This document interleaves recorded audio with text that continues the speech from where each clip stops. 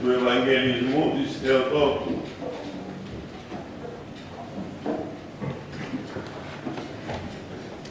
Καθότι σήμερον 26η του μηνός Μαρτίου όρισε η Εκκλησία μας να εορτάζεται αυτός ο Αρχάγγελος, ο Αρχάγγελος Γαβριήλ. Είναι εντάξει στρατηγία εντάξει.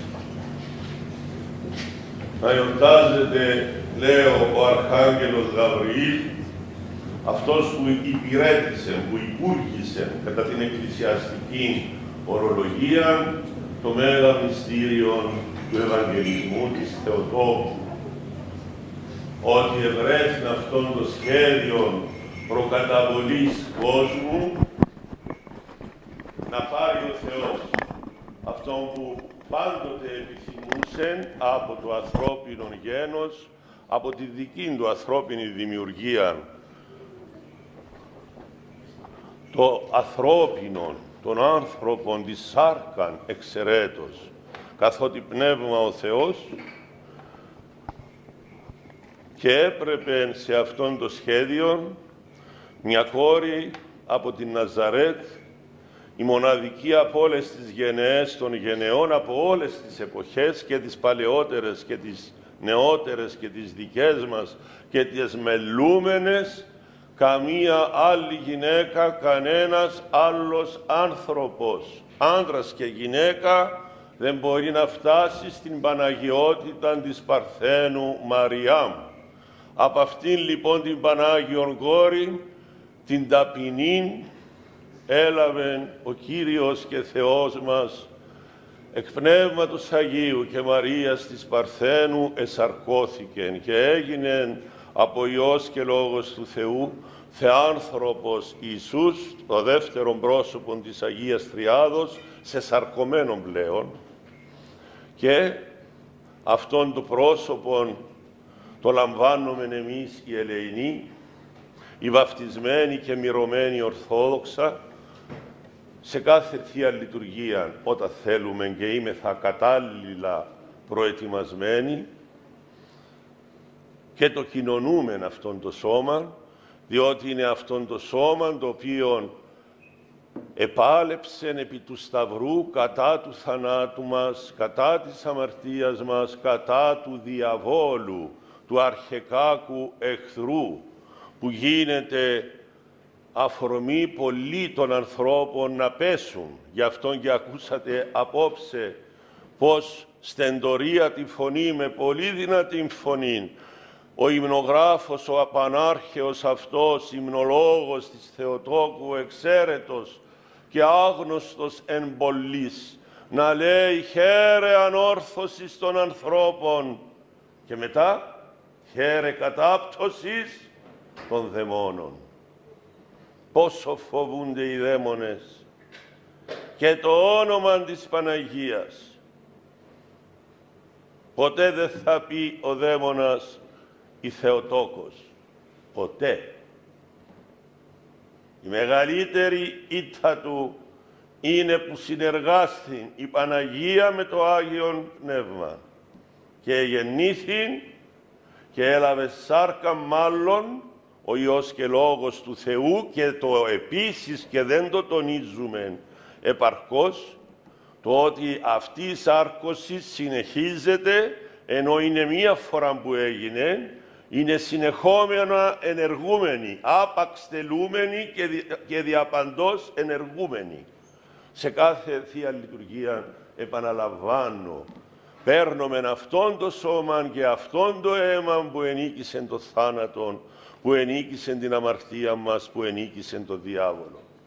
Πόσο σημαντικό λοιπόν είναι να προετοιμαζόμεθα κατάλληλα και με τη συμβουλή ενός πνευματικού πατέρα να κοινωνούμε αυτόν το σώμα το οποίο η Θεοτόκος εδάνησε εις το Χριστό μας ενώθη με το Πνεύμα του Άγιον και τώρα αυτόν όλον το σώμα ευρίσκεται εκ δεξιών του Θεού Πατρός και μάλιστα όχι απλά δοξάζεται στους ουρανούς και θαυμάζουν οι άγγελοι και οι δίκαιοι και οι Άγιοι, αλλά όμως αυτός ο Θεάνθρωπος πλέον Ιησούς είναι αυτόν που περιμένουμε να ανατείλει ο ήλιος της δικαιοσύνης το φως Του εις τη Δευτέραν αυτού παρουσίαν.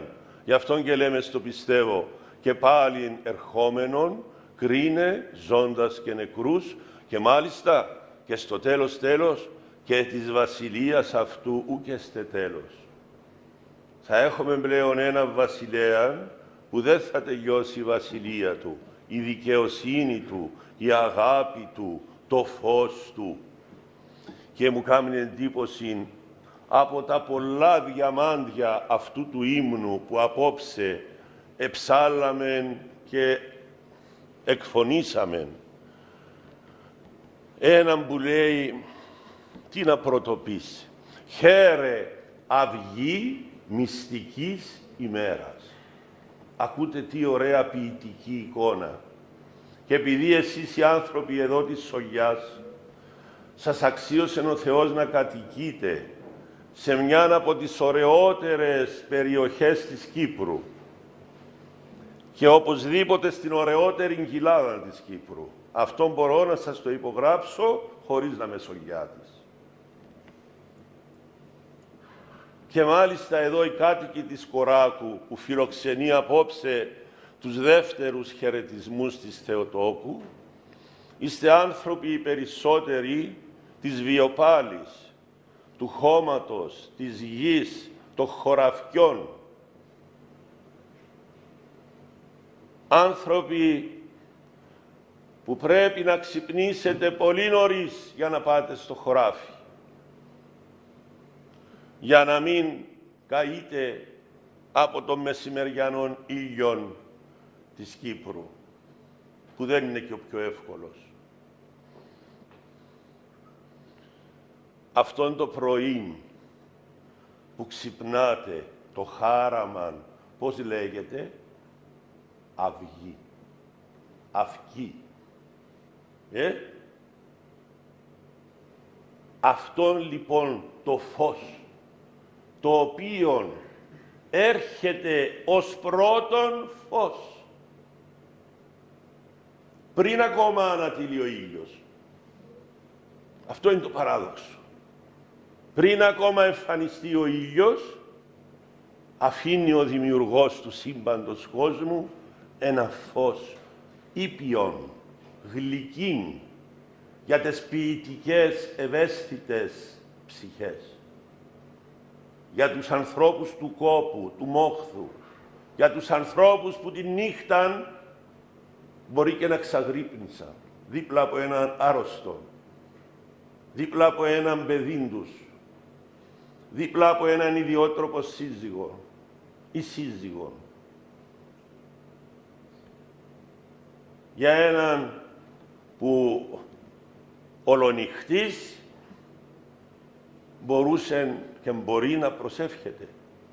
Υπάρχουν και οι νυχτερινοί ασκητές εν το κόσμο και γνωρίζω δόξα του Θεού σε κάθε χωριό μας, σε κάθε περιοχή της Κύπρου μας και του ελληνισμού μας και της Ρωμιοσύνης μας πολλούς οι οποίοι έχουν πανήχιον όπως ακούσατε στο τέλος της Δευτέρας Ευχής που διέβασε ο δεύτερος διάκονός μας ο Ελπίδιος. Ε, πανήχιον ημίν λέει, τη συνδοξολογία χάρισε.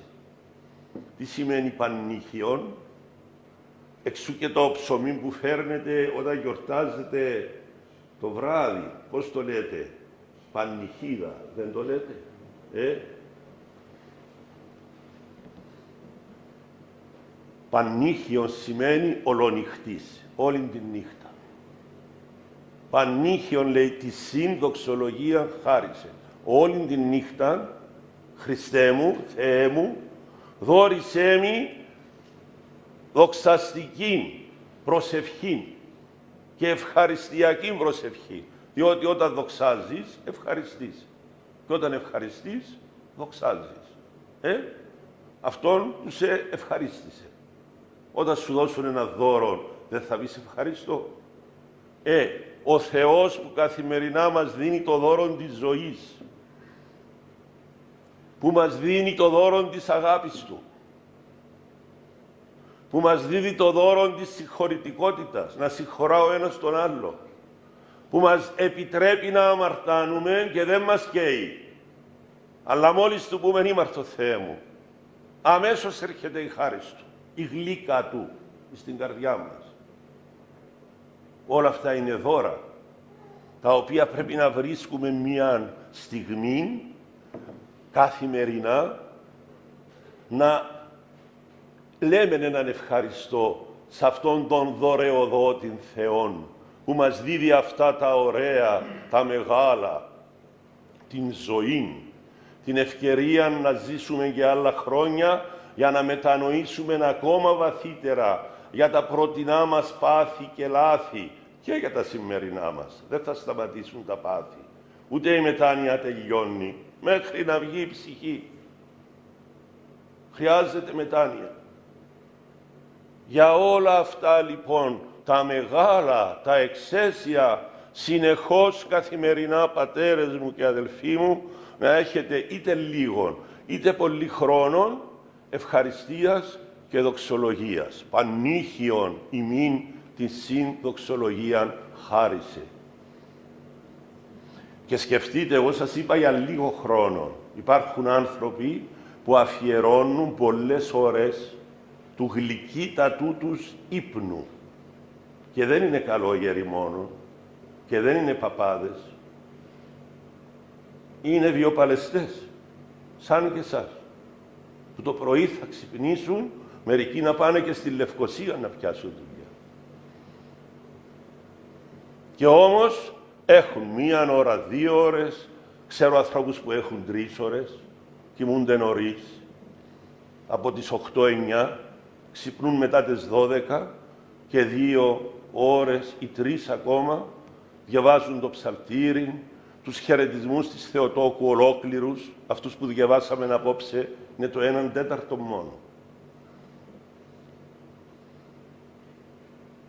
Κάνουν κομποσκίνη, μετάνοιες, οι άρρωστοι καθήμενοι, οι υγιείς, όρθιοι, οι νεότεροι με πολλές μετάνοιες να συνοδεύουν την προσευχή τους και όχι μόνο για τον εαυτούλιν τους και όχι μόνο για την οικογένειά τους και τους συγγενείς τους. Πιο πολύ υπερηρήνης του σύμπαντος κόσμου. Όπως ευχήθην ο καλός παπάς προηγουμένως στα ευξόμεθα. Ευξόμεθα. Και τι είπες αμέσως Παπαντρέα μου, υπερ... μάλιστα, υπερηρήνης του κόσμου. Και ύστερα όλα τα υπόλοιπα. Βλέπετε, ο Ορθόδοξος άνθρωπος ξεκινά την προσευχή του ανοίγοντας την αχτίνα του σε όλον τον κόσμο, Ανατολή και Δύση, Βορρά και Νότο. Και ύστερα σιγά σιγά σιγά μπαίνει μέσα στα πιο προσωπικά του. Και μάλιστα η τελευταία ευχή που κάμνετε, αν δεν κάνω λάθος παπά μου, είναι για τους κεκοιμημένους. Ε; Και ακούεις τους ψάλτες που λένε αιωνία η μνήμη αυτών, αιωνία η μνήμη αυτών. Αγκαλιάζει η προσευχή μας ουρανών και γην, παρελθόν και μέλλον και παρόν, όλα ενώνονται. Όλοι είναι ζωντανοί. Κανείς δεν είναι πεθαμένος. Φτάνει εμείς να έχουμε ζωντανή μνήμη και να ενώνουμε τη μνήμη μας με την αιώνια μνήμη του αιώνιου Θεού. Τους λέω πολλές φορές τους μοντέρνους. Εδώ τους λέω ένας ηλεκτρονικός υπολογιστής να δουλέψει θέλει μνήμη. Και σου βγάζει τόσες πληροφορίες που δεν προλαβαίνεις να τις διαβάσεις. Σκεφτείτε η μνήμη του Θεού πόσον απέραντη χωρητικότητα έχει και πόσον εμείς πρέπει να την αξιοποιούμε, ιδιαιτέρως τις ήσυχες μας ώρες. Γι' αυτό μη ξεγελιέστε. Ε; Η νύχτα δεν είναι για την τηλεόραση μόνο. Η νύχτα είναι για αυτήν την ησυχία που ήρθε τώρα. Μόλις έκλεισαν τα κλιματιστικά. Αυτήν την ησυχία. Να την ακροάτε η ψυχή σας. Και να την μεταμορφώνει σε προσευχή πανήχιον και δοξολογία και ευχαριστία και οικεσία τώρα που ακούνται απειλές πολέμων που οι Ουκρανοί και οι Ρώσοι και οι Τούρκοι ετοιμάζονται για μεγάλα κακά τα οποία προφήτευσαν μεγάλοι Άγιοι των Ορθοδόξων. Και από εδώ από κάτω άλλα οι Πέρσες με τους Εβραίους. Ε,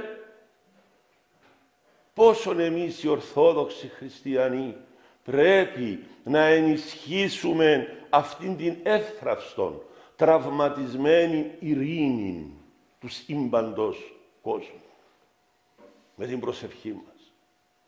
Να δώσουμε δικαίωμα στον Θεό να παρέμβει όταν οι άλλοι μαζί με τον άλλον, των πειρασμών, των δαίμονα, θέλουν την καταστροφή του κόσμου. Δεν θα τα καταφέρουν όμως. Ο νικητής είναι ο Χριστός. Και η αιτία της των πάντων Θεοσέως, η Παναγία μας.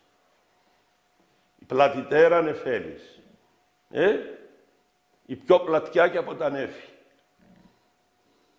Αυτή που αγκαλιάζει όλους τους πιστούς και τους ολιγόπιστους. Πολλές φορές και τους απίστους. Όταν δείξουν καλή διάθεση. Γι' αυτό παρακαλώ πανήχιον ημίν τη συνδοξολογία να χαρίσει και σε εσάς, να εύχεστε κι εσείς για μας, τους κληρικούς, να έχουμε νυχτερινή ζωή, όπως μου είπε κάποτε ο γέρον Εμιλιανός της Σιμονόπετρας, ένας μεγάλος λάτρης της νυχτερινής αγρυπνίας και προσευχής. Και ποιο είναι το αποτέλεσμα, αγίασε και αυτός. Στον 20ο αιώνα, εκοιμήθη πέρσι. Πλήρης αγιότητος και με πολλά καλά πνευματικά τέκνα, όπως και τόσοι άλλοι άνθρωποι του Θεού.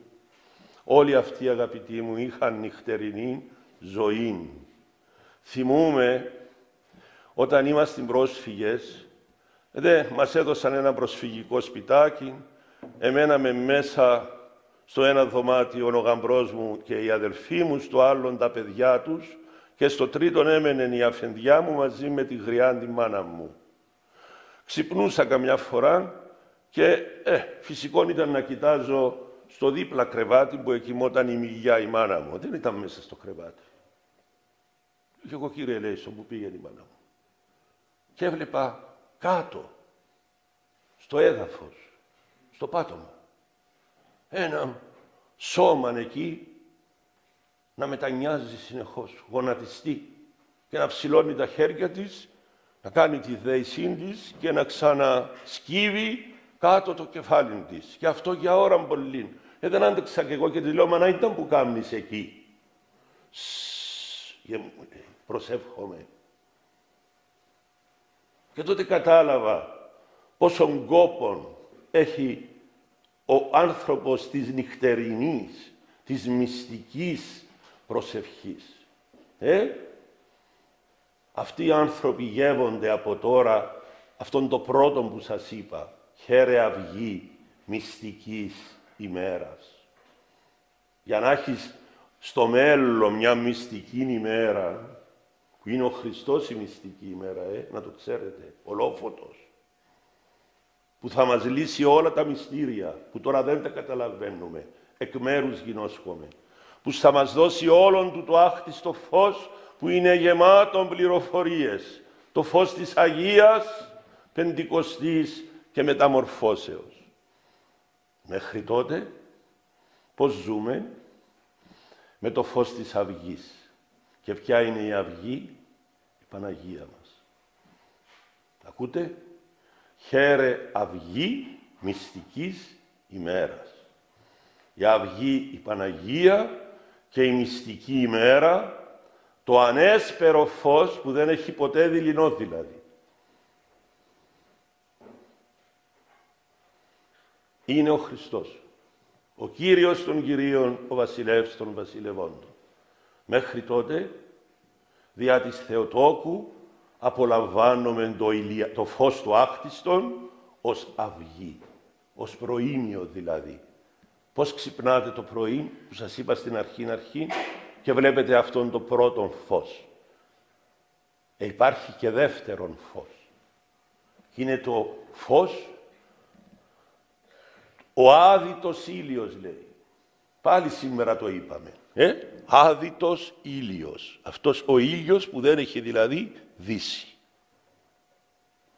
Να έχουμε λοιπόν λίγη έγνοια, να μην εγκλωβιστούμε στα ψεύτικα φώτα της Ευρώπης, της κοσμικής ζωής, της τεχνολογίας και όλα αυτά που μας προσφέρει η σύγχρονη δυνατότητα του ανθρώπου. Είναι φώτα. Πολλά φώτα, αλλά δεν είναι το φως. Ούτε της δικαιοσύνης, ούτε της αγάπης, ούτε το άχτιστον φως είναι, ούτε το αθάνατον φως είναι. Αλλού είναι το φως. Ο Χριστός είναι το φως. Και όποιος αγωνιστεί και νύχταν και ημέρα, αυτόν το φως θα αρχίσει να τον φωτίζει, πρώτα να τον καθαρίζει, ε, όπως καθαρίζει η φωτιά των μπρούντζων από τη βρωμιά, έτσι μας καθαρίζει το φως του Χριστού στην αρχή της πνευματικής μας ζωής. Και ύστερο αρχίζει και λαμπικάρεται ο μπρούντζος. Πώς είναι εδώ τώρα τα μπρούντζινά σας μανουάλια έτσι καθαρά. Ε, ε, μα για να καθαριστούν έπρεπε κάποιος, καμιά ξένια να δούμε, που τα έτριβε, για να λαμπικάρονται έτσι. Και μετά βλέπεις μέσα, σαν καθρέφτης γίνονται. Βλέπεις και το πρόσωπό σου και το είδωλό σου. Και θα έρθει μια ώρα που θα γεμίσουν όλα φως μιας μυστικής ημέρας, αφού προηγηθεί το φως της αυγής. Και έτσι για να ξέρετε, η Κύπρος έχει ακόμη και Παναγία που έχει το όνομα της Αυγής, στην κατεχόμενη Μιλιάν αμοχώστου, έξω από την Μιλιάν αμοχώστου, υπήρχε η Εκκλησία, τώρα την κατέστρεψαν οι Τούρκοι. Η Παναγία η Αυγασίδα. Βρε τι σημαίνει Αυγασίδα, τι σημαίνει Αυγασίδα; Και σιγά σιγά άνθρωποι του Θεού την ερμήνευσαν ότι είναι η Παναγία η οποία φέρνει το πρώτο φως της ημέρας στη δική μας σκοτεινή ζωή. Φτάνει εμείς να θέλουμε να καθαρίσουμε τη ζωή μας. Το ερώτημα τώρα είναι και το τελευταίο. Θέλουμε, πόσο θέλουμε, ποιο φως θέλουμε. Το φως της Ανατολής, το φως της Δύσης. Και ο καθένας ας σταθεί απέναντι στα θέλω του και να ζητήσει από τον Κύριον της ζωής και του θανάτου να μας δώσει πανήχιον της συνδοξολογία εις το υμνήν και ευλογήν το πάντιμο και μεγάλο πρεπές όνομα του Πατρός και του Ιού και του Αγίου Πνεύματος. Καλή Σαρακοστή να έχετε. Καλό στάδιο να περάσουμε της νηστείας και την λαμπρίνα χώριστη, χωρίς φόβο, και να αγωνιστούμε να έχουμε έναν Πάσχα καλύτερο από πέρσι. Είναι ευθύνη μας και για μας και για τα παιδιά μας, αλλά και για το Θεό μας, που θέλει τη δόξα Του, που θέλει τη λαμπρότητα Του, που θέλει τη λαμπρή Του. Ελάτε ένας έκαστος να ευχηθούμε. Καλών στάδιων. Διευχών των Αγίων Πατέρων ημών, Κύριε Ιησού Χριστέ ο Θεός, ελέησον και σώσον ημάς. Διευχών του Αγίου Δεσπότου ημών, Κύριε Ιησού Χριστέ ο Θεός, ελέησον και σώσον ημάς. Ψάλλετε.